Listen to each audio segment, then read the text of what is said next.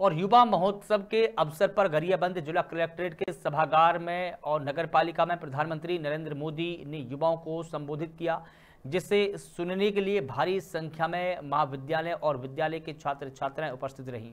इस मौके पर जिलाधिकारी दीपक अग्रवाल और जिला पंचायत सीईओ रीता यादव ने युवाओं से विवेकानंद जी के उपदेशों को अपने जीवन में उतारने और उनके बताए हुए मार्गों पर चलने की अपील की। गरियाबंद से भोलेश मिश्रा की रिपोर्ट। युवाओं के लिए मैं संदेश देना चाहता हूँ कि युवा आज देश के भविष्य हैं। सबसे पहले तो युवाओं से मैं अपील करना चाहता हूँ कि जो आज तेज रफ्तार में बाइक चलाते हैं और आज मोबाइल की तरफ़ जा रहे हैं, उसको रोकना चाहिए युवाओं को। आज युवा ही देश के भविष्य। आज राष्ट्रीय युवा दिवस के रूप में मनाया जा रहा है, जिसमें आज माननीय प्रधानमंत्री जी का उद्बोधन था सभी युवाओं को। तो माननीय प्रधानमंत्री जी ने देश के युवाओं को संबोधित किया है और उन्हें देश को आगे बढ़ाने, दो हज़ार सैंतालीस तक देश को विकसित राष्ट्र बनाने के लिए प्रेरणा दी है।